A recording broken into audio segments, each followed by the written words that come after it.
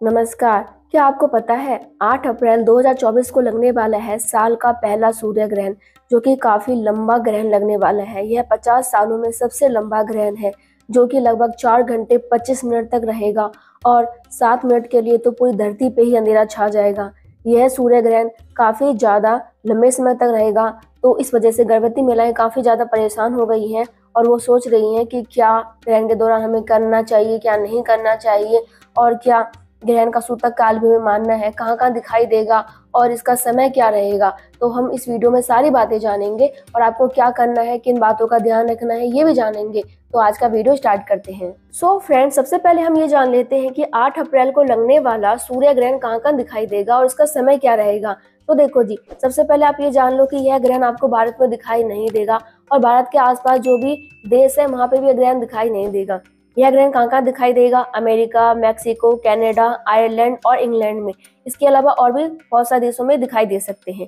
इसके अलावा अगर समय की बात करें तो यह भारत के समय के अनुसार 8 अप्रैल को रात नौ बजकर बारह मिनट से शुरू हो जाएगा।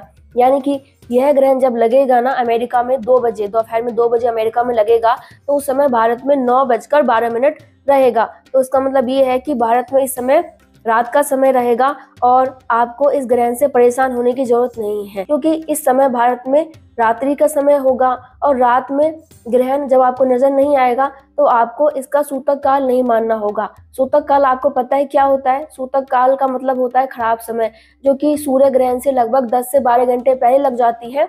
और चंद्र ग्रहण में लगभग आठ घंटे पहले लग जाती है। तो सूतक काल में भी कोई भी आपको शुभ कार्य नहीं करना होता अच्छा काम नहीं करना होता, बहुत सी चीज़ों का पालन करना होता है।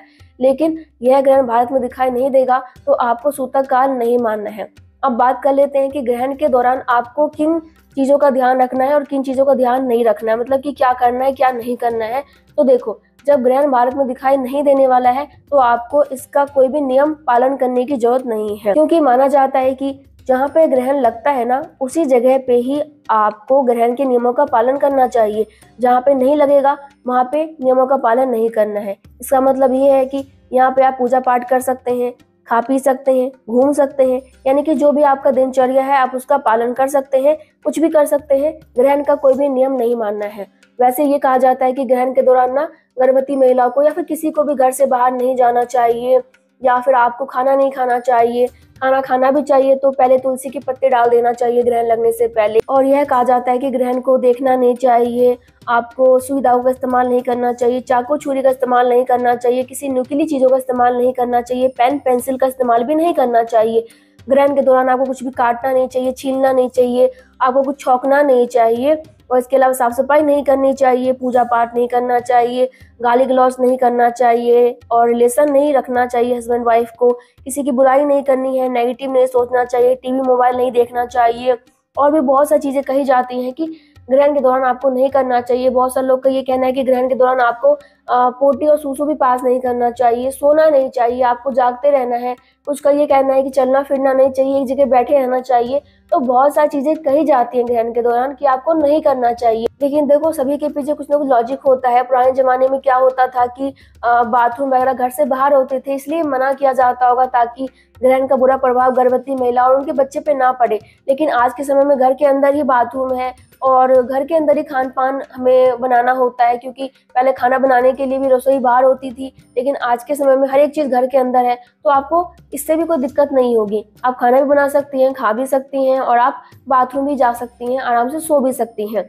सोने के लिए मना किया जाता है लेकिन भाई जब भारत में ग्रहण नहीं है तो हमें डरने की ज़रूरत नहीं है हम आराम से सो सकते हैं। यानी कि आपको ग्रहण के नियमों का कुछ भी पालन नहीं करना है बाकी आपको डाउट लगे तो आप अपने आसपास के जो भी पंडित जी हैं उनसे बात कर सकती हैं। हर एक आ, मंदिर में पंडित जी होते हैं तो आप उनसे बात कर सकती हैं कि आपको नियम का पालन करना है या फिर नहीं करना है। लेकिन आप मुझसे पूछेंगे तो आपको किसी भी नियम का पालन नहीं करना है। जैसे आप नॉर्मल डेली लाइफ जीते हैं वैसे ही जीना है।